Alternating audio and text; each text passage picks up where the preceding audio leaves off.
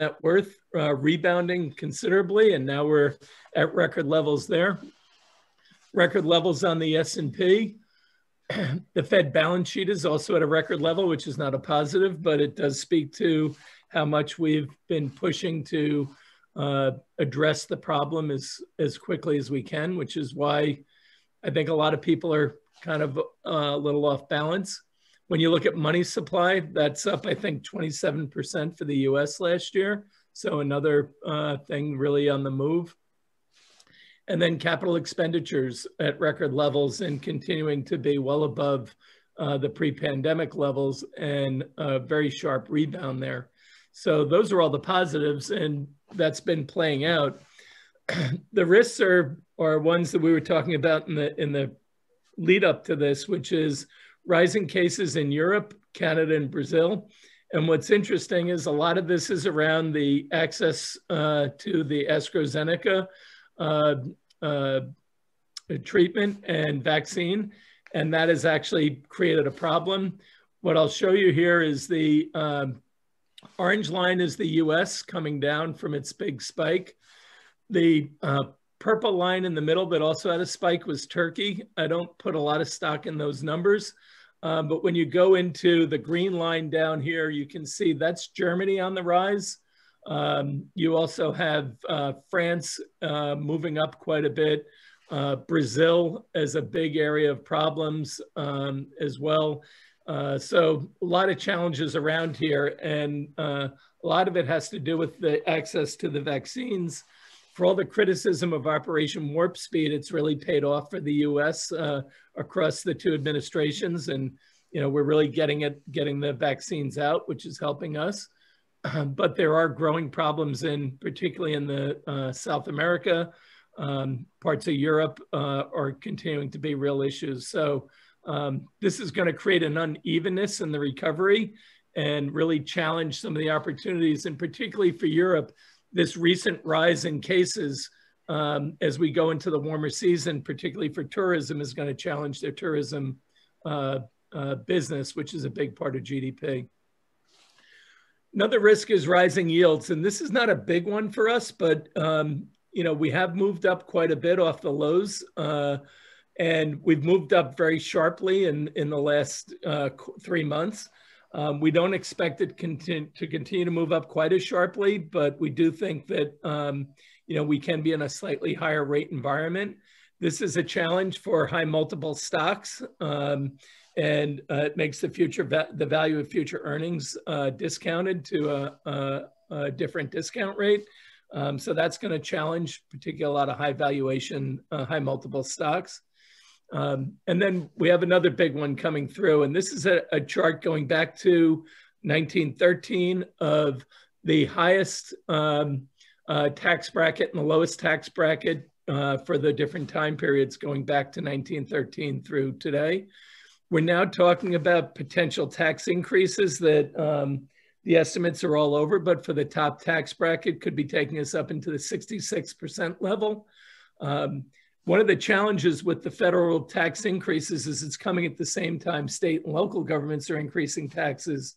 So what's the total effect of the burden coming through? And ironically, on a corporate tax side, I believe Germany is actually lowering their corporate taxes, particularly for partnerships, which are in the 45% range and definitely need to come down. I think their corporations are at 30, and I think they want to bring them all down there. So, you know, ironically, we're going the other way in the US. I think we probably went too low the last time and may overshoot this time, both on the individual and corporate tax level, but this is something that we're very mindful of. Other key risks are that inflation runs away from the central bankers, not our core case, but something we're monitoring. And really, I think one of the big risks right now is China's challenge to the you know world order. Um, you're seeing it with sanctions against Australia, the EU, the US, and Canada the uh, China-India border clashes. Now China has a 25-year deal with Iran that is not going to endear them to the U.S., and uh, that's going to create even even greater strains. So there's real issues going back and forth, and that doesn't get into the South China Sea issues and threats about uh, taking action against Taiwan and Hong Kong and how that plays out. But you know, this is a real challenge when you have two of the world's leading economies, or three if you factor in all of Europe, um, really at odds with each other. And that has to have a hangover effect on the uh, global economy and makes you need to be much more specific about where you're investing. Well, I think there are good opportunities in the emerging market area. I think there's uh, uh, significant vulnerabilities there, particularly as you go from country to country. So you have some countries with very high debt levels. Um, the dollar recovery is going to put even further strains on their debts and um, as well as their debt servicing costs. So we think that uh, that's another issue. And they are running at multiple speeds. So um, you really have to be very selective about where you're investing in these areas. And as I said, the health issues in, are growing in terms of Brazil and other nations. I think a big concern for corporations is the uh, a complete reversal of the easing of regulatory burdens from the Trump administration uh, to much greater burdens on U.S. corporations. Uh, hard to uh, tell, but the cost on the economy can be quite high from excessive regulation. I think the other issue, and we saw it this week with the blowup of the hedge fund, the family office in uh, Asia, is there has been a buildup of leverage in the system, and you know leverage left unchecked is always a big issue. And I think maybe the most important risk that's out there today is we're in a new phase of globalization, and what we talked about earlier with China is part of that, but the first phase of globalization for the US was offshoring, and the impacts of offshoring were pretty significant. And uh, it basically led to lower investment in the US because you were going to not be upgrading manufacturing plants if you were shipping them overseas. It created worker issues, it created challenges in terms of the carving out of the middle class all that occurred as we were seeing this uh, shift from US manufacturing to overseas. I think the manufacturing sector lost somewhere along the lines of uh, 11 million employees during that period. Now, we talked about last week the digital economy has picked up 8.8 of that, but now we're in a new phase where we're bringing back uh, both onshoring of business with Taiwan Semi as an example of that, or Samsung bringing uh, chip manufacturing plants to Texas and Arizona. Um, at the same time, you have reshoring coming back, which is really going to help build up the manufacturing area, particularly in the middle of the United States. Um, that leads to more investment. More investment leads to increased spending towards uh, productivity improvements, which lowers costs and make, make us more competitive. So I think these are the risks that are out there. Um, and I'll give you the ARS take on it. Um, we remain focused on these critical transformations that are occurring and think that the trains left the station from a digital transformation, from a political and social one, from a monetary and fiscal one, um, so we continue to favor uh, equity investments. Um, we're avoiding the highest and lowest valuation stocks in the, in the public markets. We're focused on companies with embedded advantages that will allow them to continue to invest and to continue to widen their competitive moat. Um, we believe that earnings will matter much more in 2021. So you want to get the companies that have strong earnings characteristics and uh, rather than relying on multiple expansion, the move up in rates makes multiple expansion much more difficult and isolating earnings is going to be the key for, for people. We think the market's broadening out and that's fine. The slight pullback that we've had in some of the FANGs uh, the first part of this year should be normal and expected after the strong year that they've had. But it is a broadening out of the economy that we're going to see as the economy reopens. So small caps continue to do quite well. And we would just advise people be highly selective with the rest of the world. We favor China, but there's some challenges in how China's dealing with uh, their tech sector as well. So uh, something to keep an eye on there. We like private equity, private credit, and venture. We think they're good opportunities, but same with the public markets, you have to be careful of valuations and growth expectations. Um, when you're working off of all of what the revenue growth is going to be and their market positioning, you're making bigger bets in our view. So you have to really be careful about that. We are seeing inflation rising, so that's not a uh, an issue that re, in our view can be debated. The question is, does it how fast does it rise and is it going to be transitory or not? We remain in the transitory camp. Um, we do think the Fed's going to be a little bit surprised uh, how fast they may have to shift, but we do think that um, the more spending we make and the more onshoring we do, the more it increases productivity, and productivity is the antidote to inflation. So over a reasonable time, we don't see that being an issue. Uh, and our key themes remain the digital transformation, which we believe is underappreciated. And I was just seeing some statistics. 80% um, of corporations surveyed by ISI Evercore are going to be increasing their tech spend this year. 88% of them are going to be increasing their uh, shift to the cloud. Um, we think that what we've seen over the last year is just an acceleration that uh, continues to be underappreciated because we haven't seen the best benefits as the guys on the 5G panel talked about of 5G and artificial intelligence and the like. That's all on the come. We think that 5G is going to enable not only new transformative technologies, but create massive new total addressable markets. And that's going to help offset the transition from old economy to new economy. But our government's going to have to step in and uh, infrastructure spend is going to have to go up. I read today that Biden administration is talking about now a four trillion dollar infrastructure plan with three trillion of tax increases. Um, I'm not sure that that's going to be a positive solution for the long term to deal with it that way. Uh, but part of their infrastructure uh, plan is to help with uh, skills as industries have been carved out here.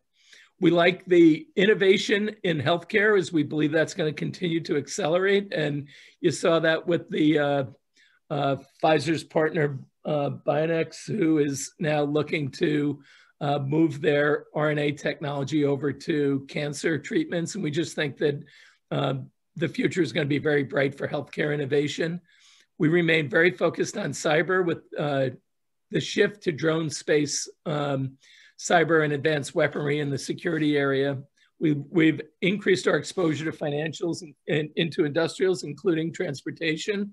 Uh, and we like the financial area. But I would say across all markets, um, it's a time to be uh, very cautious and very thoughtful about the uh, quality of the investments that you're making right now. The uh, challenging money is ahead of us. The easy money, I think, is behind us. So, Mark, with that, we'll stop and open it up for discussion.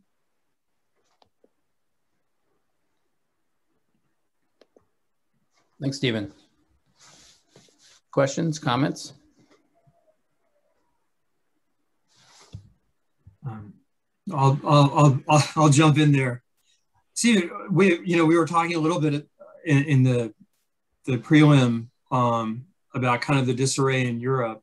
And I know that the expectation was that Europe was going to you know recover and, and probably do well, but it but if if they if they are delayed in all that, it seems as though that there could be you know pressure on the euro, perhaps the U.S. dollar continuing to strengthen, and if interest rates here continue, you know, or at least stabilize, stabilize or, or, or even edge up a little bit more, that that USD is is going to be attractive. Does you know does that a does that make sense?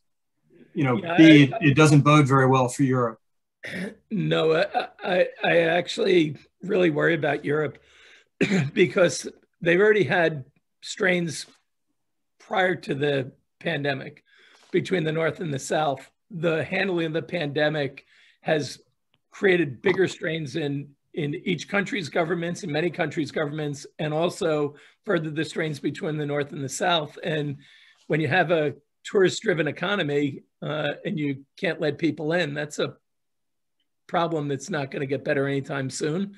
Um, so I do think you're right on the dollar. I think the areas are, I think it's a really a two-horse race between the U.S. and China um, for where you want to invest and where you see the biggest opportunities in the near term. I wouldn't write off Europe uh, wholesale, but um, there is some really great innovative uh, innovation going on in France and other areas um, in Europe. But I, I think it's really going to be a challenge, uh, are really going to be a challenge for Europe to get their act together against that backdrop that you just described, Bill.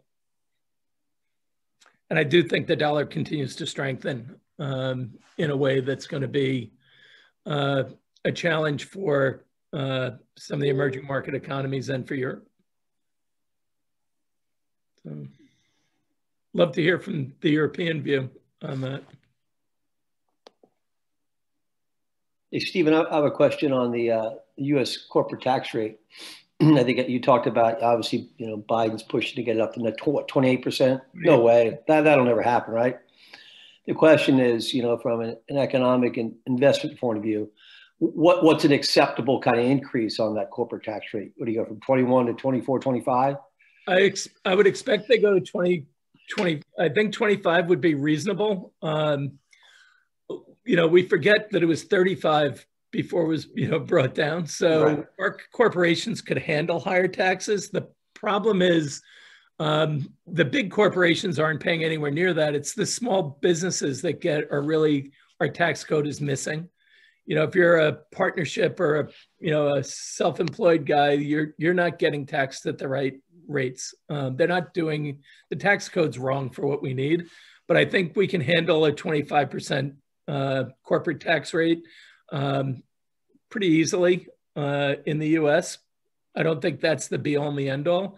I think the bigger issue is how do we collect the taxes that we're owed? And, uh, the, you know, there's been some really good articles around that and what the government could do if they were able to more effectively collect taxes, um, including just having, you know, this minimum tax that they're talking about putting on as a global uh, global standard is going to be interesting to see how that uh, works through. But I think people forget we're going to have a massive jump in corporate earnings uh, year over year because of how much earnings were pulled down last year. So in the near term, from a market perspective, I don't think the tax changes are going to be that devastating. I think over the long term, though, you can't tax your way to dealing with our problems. You have to get some fiscal discipline on the spending, and you have to get the spending that you're making to be much more productive.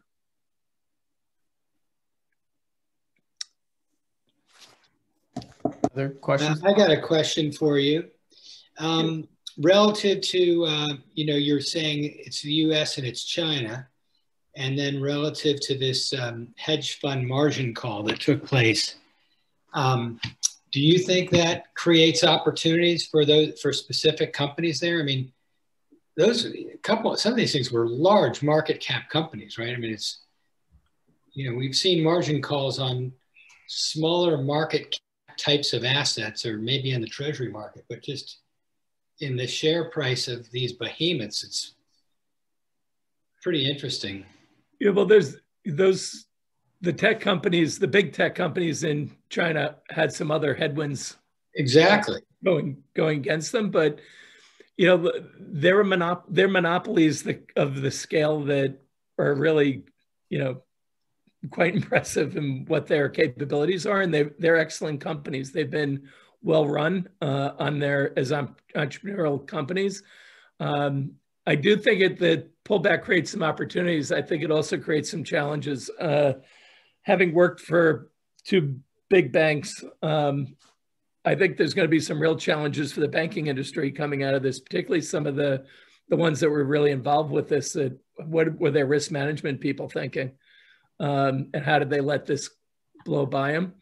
Um, but I think the pullback we've seen in big tech here and in China is all part of a normal, healthy kind of easing of, uh, you know, they, they don't go straight up. And I think this is the normal part of the process. I still think the big tech companies in Europe, in the U.S. and uh, China are going to continue to grow because they have the embedded advantages that we would look for.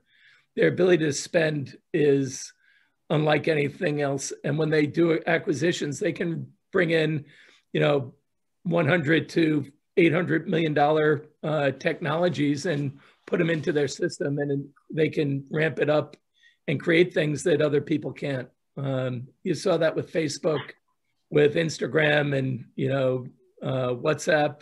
They're they've realized the value from those deals that everyone thought were stretched, and I think that's what companies with embedded advantages can do. So Duncan, that's a long way of saying I I think there are opportunities. I think big tech is an area you're going to want to continue to be involved in and take advantage of pullbacks when you get them.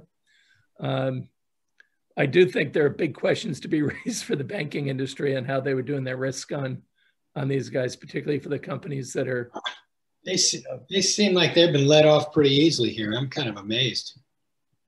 Well, I think we've lowered the bar for them over the over the last 15 years to what our expectations are, but that, there's going to be heads are going to roll on these on these. They're massive losses for banks that they shouldn't be having. So, uh, Mark Jack Wyatt asked for some companies. Yeah, I saw that. Um, so is that an offline thing, or you want to talk about it? Uh, well, I have Sean on the call, so he can help me out with this. Um, so uh, for uh, industrials, we like uh, uh, Parker Hannifin.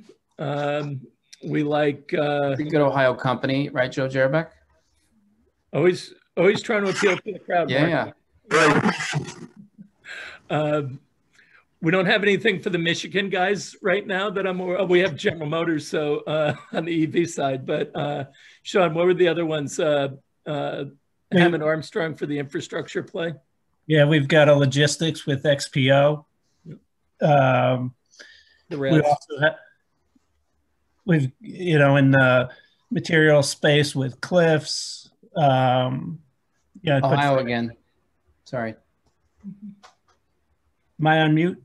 No, no, I was just saying Ohio again. Oh, apologies.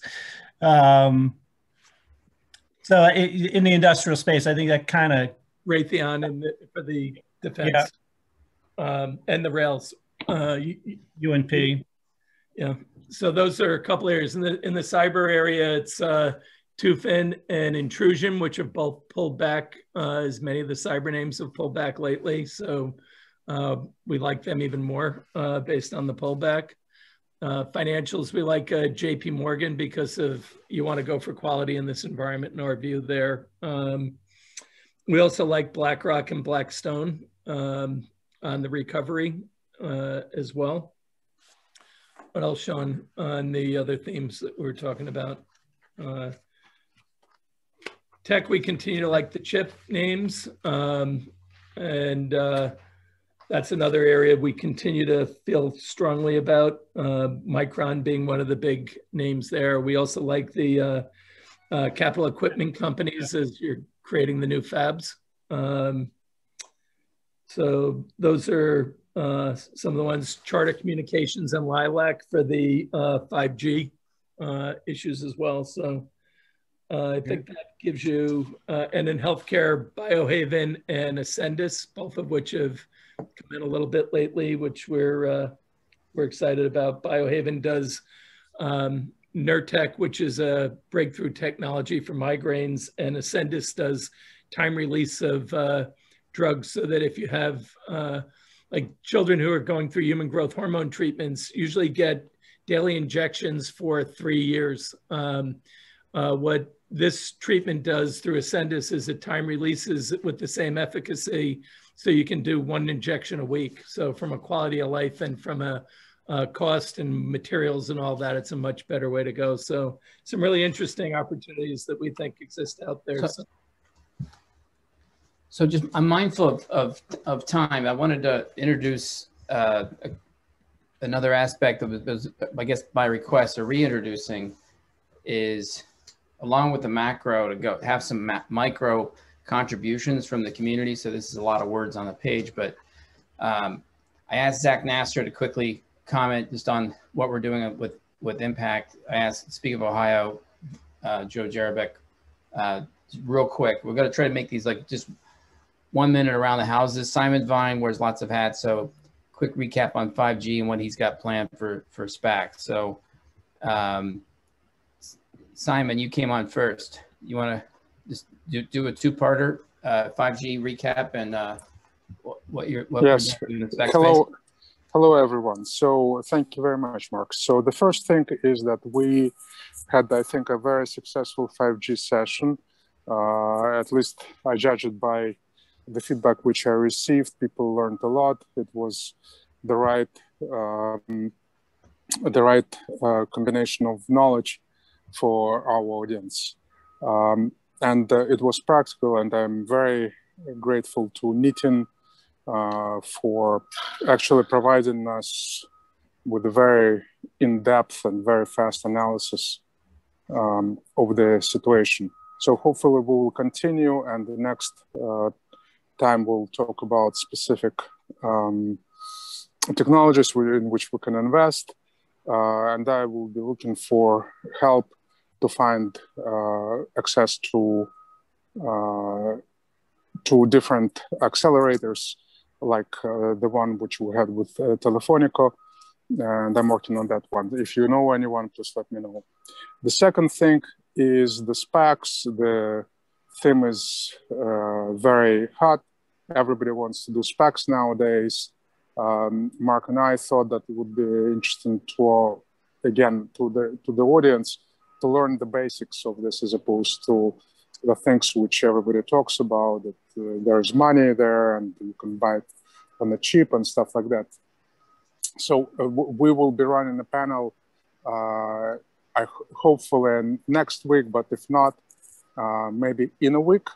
Uh, those who already agreed uh, to join us is uh, a managing director of Credit Suisse, a gentleman who um, runs an ETF platform, and one of the ETFs is SPAC ETF, and um, it invested in 80 SPACs so I need two, three speakers to confirm, and um, we'll be good to go even uh, next Tuesday.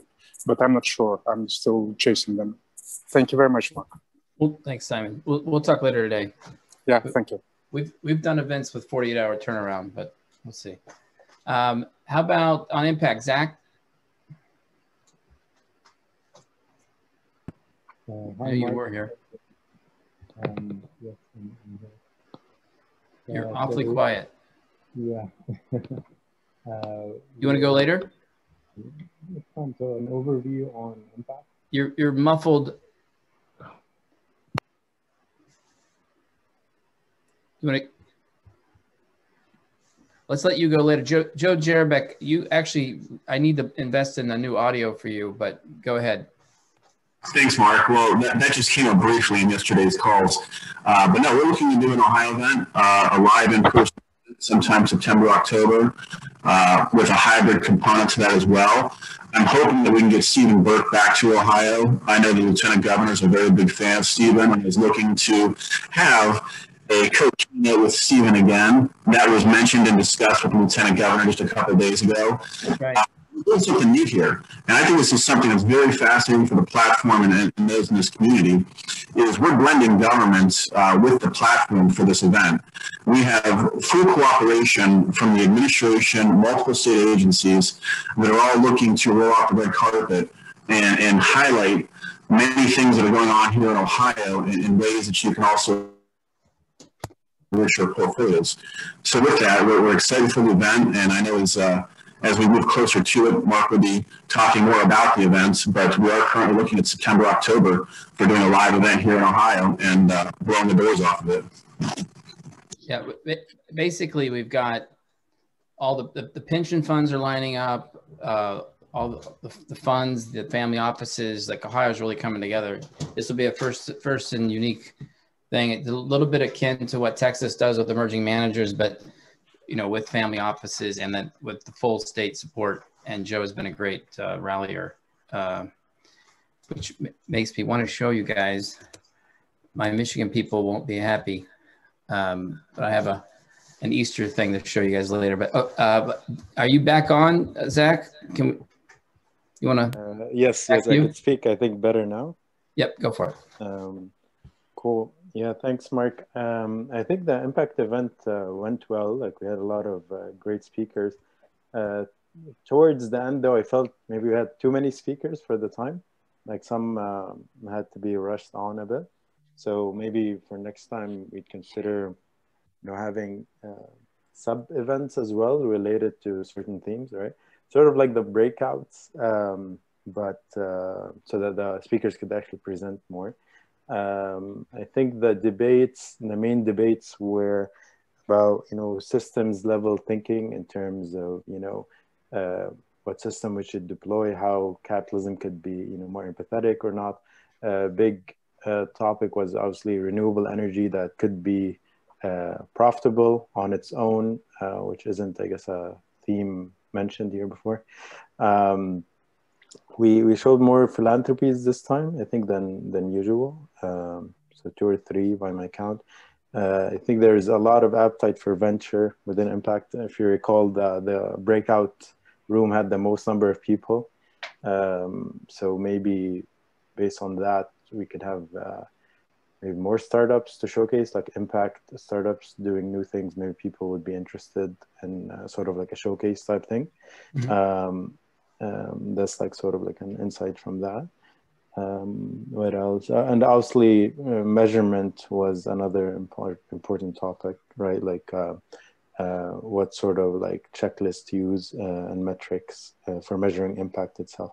Um, and we saw certain people are sophisticated with that, some aren't. And then I don't know, Jonathan Dana, thanks, thanks, point, points, points noted. Jonathan, do you want to share something this week or? Uh, yeah, I'm happy to on, on the VC space. Um, I mean, we, we've been active in the VC space this whole year. Um, I mean, I can tell you high level, a couple things that's interesting. This isn't new, but almost no funds anymore, especially in VC, are charging um, points or markups on any capital. So whether you invest in day one of the first close or two years later at the end of a harvest period or investment period, all these funds are allowing you to come in without marks with just the de minimis interest expense. I will say most of the momentum in the fundraisers I'm seeing on the early side of it, ed tech, anything tied to Biden's infrastructure, especially on energy tech or anything to improve the grid is huge, oversubscribed, blockchain, any type of migration of blockchain plus fintech all massively oversubscribed on these funds. The later stage VC, um, I'm not seeing a, a, ton of interest from my families there, and even the capital raises that are coming out, other than the established players in that side of it, you're just not seeing a lot of momentum there, at least from my standpoint. So continue basically to focus on the early uh, early side of it, especially blockchain, which again the thesis being blockchain plus fintech are going to merge, and so if you can still get into these companies at attractive valuations right now, it will pay off in the end. Can I ask a question, Jonathan? Are you getting involved in NFTs at all? So NFTs. Um, on the personal side, I've dabbled with it just to understand it better. But in terms of actual investing, we're not getting involved directly in NFTs. We're getting involved more in the back end of it. So companies like Dapper, who built the infrastructure for NBA Top Shot, Top Shot, that's who we would get interested in. But we're not trying to make bets on buying them and holding those assets for appreciation. Got you, because I uh, I know a platform that's trying to build on a technology called Hedera Hashgraph which is a blockchain, but much, much faster. It can do, I think, like around 80,000 transactions per second with 0.0001 gas fees at this point. Um, the deal is too early for me for what our fund is looking at, but I may be able to forward it to you. Yeah, I'd love to take a look. You do see it's interesting from the platform side of it. You definitely have people that are looking to um, enhance the protocol. I would say, I mean, Obviously, Bitcoin is more of the store of value. Most things right now are Ethereum based for the platform. Again, that has its issues. Um, I'd love to see that. I'll give you, I mean, one example of more of a direct company investing in the infrastructure side of it, things like Fireblocks, which create the, um, which create the tunnel for contracts, or that's a really interesting type of um, idea or things that we're interested into. And the, and the, only other question I have is, are you are you looking at um, other networks outside of Ethereum because proof of stake is not going to be ready ideally until next year? Um, we are. I mean, we're not we're not making bets on the networks. I leave that to more uh, technologically savant people. I'd say the thing that I keep hearing a lot about is Solana versus Ethereum. But again, I'm not taking a bet there one way or the other. I let the um, the blockchain companies themselves do that. Right. The only one I'd say to watch out for, because I know investors are going to be seeing a lot of it, is um, they were called Matic. They've been rebranded as, I believe, Polychain. Uh, oh, sure. I know Polychain Capital. Yeah. They they they have great technology, but they're out of India, and I think they'll have a lot of political issues. Um, I think I think, uh, and also if Ethereum does their own version of proof of stake and they don't use their layer two, that value may be not worth much. No, it's good to know. I know, um, as you said, India, there's definitely a lot of uncertainty there. Thanks, Jonathan. And Jonah. Mark, if I could just add, if people aren't yeah. following Jonathan on LinkedIn, uh, you might want to. He has great uh, uh, updates he puts on there that always has some unique angle on uh, the markets or what's going on in the economy. So, uh, Jonathan, I appreciate what you're doing on your LinkedIn pages. Uh, thank you, Stephen. I appreciate it. Good stuff. Anyone else? So as you guys are talking about deals, just a, just a reminder, it's you know Charles Way was talking about a couple deals. It's pretty easy. Just you know, at least on a no-name basis, I can get. Uh, we, we're, we're taking inventory. This is these are the project names. So if you're interested in fintech, um, this is like a there's a you know, public markets. Hypnos is like a it's like a uh, uh, it's a play on ex, uh, foreign exchange rates, um, but a lot of interesting things that, that, are not even on here yet.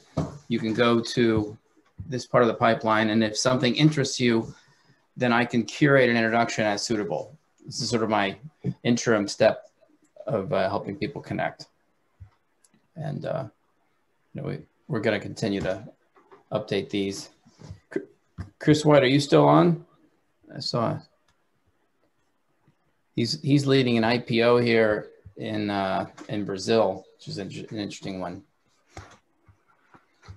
Hey, Mark, this is Key. Um, love to, to jump in. I, I know um, it sounds like you're, you're putting together a, a panel on uh, SPACs, which I think will be high interest. I'm, you know, curious to hear from, you know, Stephen or others, you know, how it's moving around, you know, some of the small cap you know market views and you know from a venture perspective uh, you know how it's you know uh, shifting or changing any you know allocation plans or thinking from the you know sort of family office side of things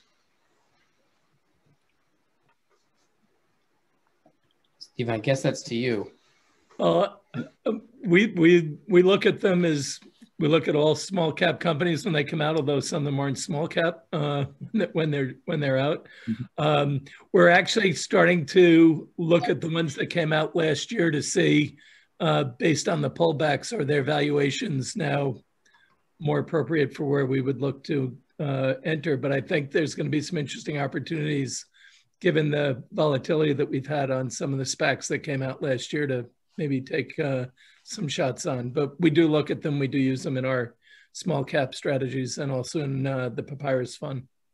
Steve, we had, and as you know, we we did uh, in the Fortress uh, Value Acquisition SPAC that became uh, MP Materials. Yep. Uh, we were investor uh, early there and continue to hold it. It's interesting because it's it's part of what's reverse. You know, we've had a you know a 20 year to 15 year decline in the number of publicly listed stocks in the US. The Wilshire 5000 at its peak was, I think, around 7,400 companies. And today it's 3,750 or something like that. So uh, we've had a, you know, the public markets have been cut in half of listed stocks. And the SPACs are actually starting to create some uh, new opportunities, which is uh, very helpful as well to get the listings back up. So we're we think they're interesting, but you know you have to invest as carefully in that as you do anything else. Yeah, no, I, I'm I'm looking at it more from the venture side, but I'm I'm very you know keen on the the you know shift that it has from a market infrastructure perspective. Um, I think you know some of them are moving fast and, and furious, but um, you know it's part of a uh, evolution. If you look you know go back 10 years you'll see you know crowdfunding reg a plus direct listing now you've got you know sort of a rena- renaissance in in the spac to, to replace the small cap ipo you know so there's a it's an innovative tool um, it, it it has some advantages. It probably also has some marketplace disadvantages that i think you know are being investigated and you know thought through. I worry a little bit about the you know sort of analyst support and the institutional support for you know 700 you know newly de-SPACed companies, which is what we're going to have soon here, and um, you know that creates opportunity um, you know as much as it creates volatility. Yeah, I agree with that. I think the uh, uh you know, you're getting a lot thrown at, at the market and uh, mm-hmm. it's a it's a different format that it's going to take some time for Wall Street to analyze them the right way to produce, I think, the type of research that is going to be useful. Good point. And, and Mark, can I throw out a quick uh, a quick topic of mine? And I don't have an answer, but I'm curious, maybe Stephen or anyone else who has been able to dig into this. Obviously, what's been happening with Viacom, Viacom CBS, we know that institutional leverage is whatever having ripple effects. Does anyone have any good ways of digging into basically gray market leverage? Hey, you can compare NAVs versus regulatory AUM, but I'm just curious if anyone's ever tried to dig into it more holistically to see where those risk landmines lie. No help from here. Yeah, Where's it coming from? I mean, this is not not the traditional bank leverage. It's I mean, I, traditional, I'd say it's always been there. I mean, using the, the swap agreements, using, you know, off the market um, derivative, well, all swap agreements basically. It's just, I think now you're seeing leverage once again step up to levels where most people don't realize it. So you do all this fundamental work, you can buy a great company and then have your investment go down 60% because a hedge fund went 12 times levered on it and got a margin call. Jonathan, the one thing I did read on this uh, this case in particular, uh, as it relates to Viacom, was when all the risk teams at the different banks did their analysis on uh, on the leverage. They only looked at it as shockingly, they only looked at it as if they had a problem, not if everyone had a problem at the same time. Yep. Uh, so their their analysis was just not good. Uh, yeah. So, um, and we've done that before, you know, when I, when I worked at Deutsche Bank in 05, my boss was on the executive management committee and he came back from one of their conferences and he said, uh, sell all your stock. I was like, why? He goes, we don't work for a bank. We work for the world's largest hedge fund. And at that point, Deutsche was levered, you know, around 40 to one. And they weren't sure all the different sides of the tranches of the credit default swaps they're on what they really added up to is what it came down to. So it's not surprising that they're going to miss some of these things, but um, this one's going to be a tough one uh, for the banks. Yeah, I agree. I did see, but I don't think it's made into the pipeline. There's a there is a new private credit player trying to provide the same kind of that kind of credit to family office. Anybody who's that would be under 25 million trading. So I'll find that that sheds any light, but I don't think it made it onto here. But this is the public side of what you can see. So you can see we have a lot of early VC, some PEP, a lot of PE growth, some pre-IPOs, private credit, public, some real estate, secondaries, VC growth, VC early, etc. And this, uh, by the way, this this slide is we have a lot of data this week. So if you're interested in, you know, electric vehicles, health tech, which took a spike, ag tech, ed tech, um, obviously the 5G slides, and you can you can get more information if you, if you ask for it. Um, there's a whole cannabis market study coming together, etc. And then 40 new users added.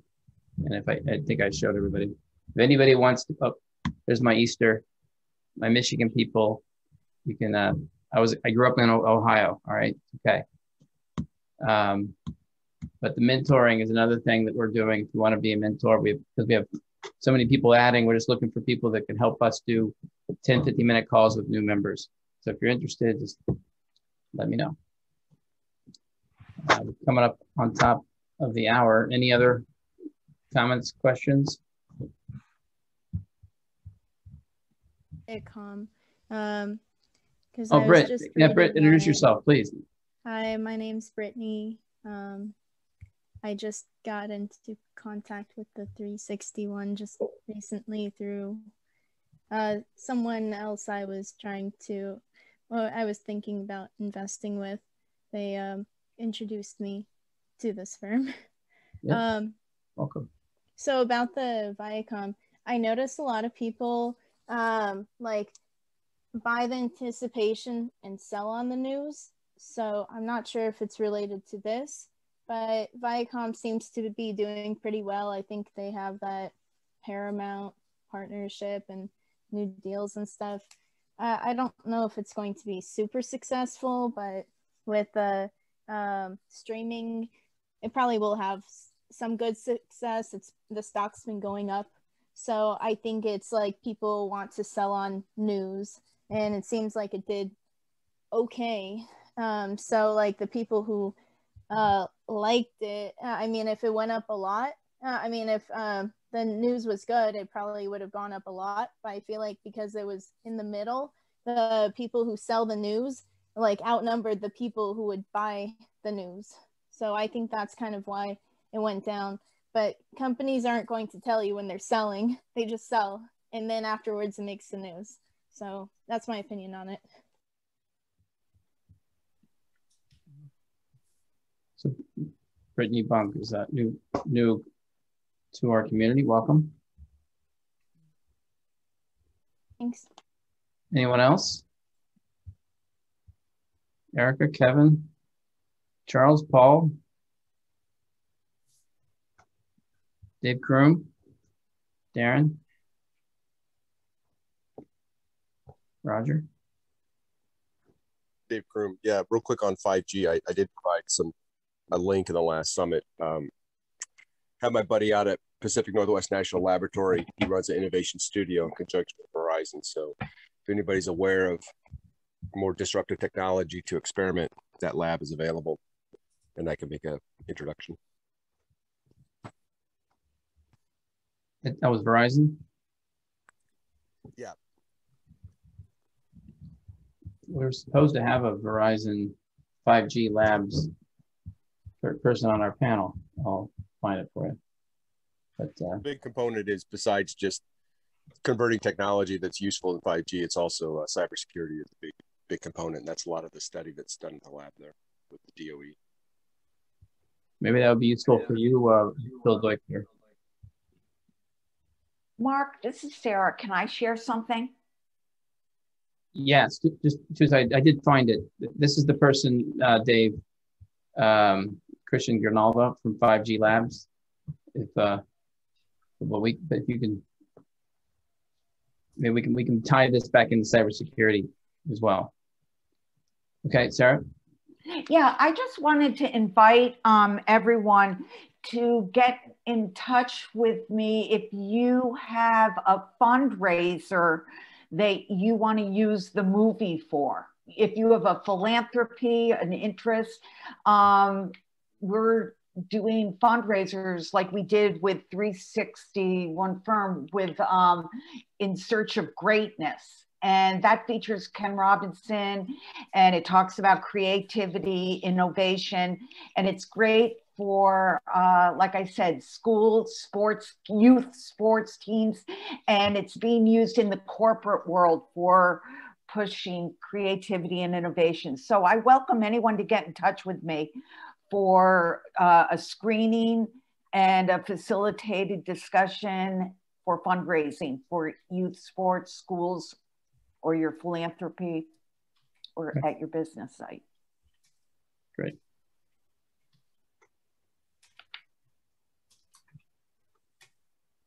Well, there's a great team around the uh, whole project and oh, definitely endorse that. Maxime, anyone else before we break?